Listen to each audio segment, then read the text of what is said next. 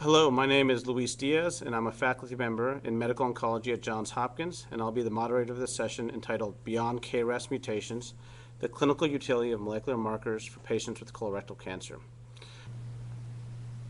So to date, there have been close to 100 tumors in which all the genes have been sequenced.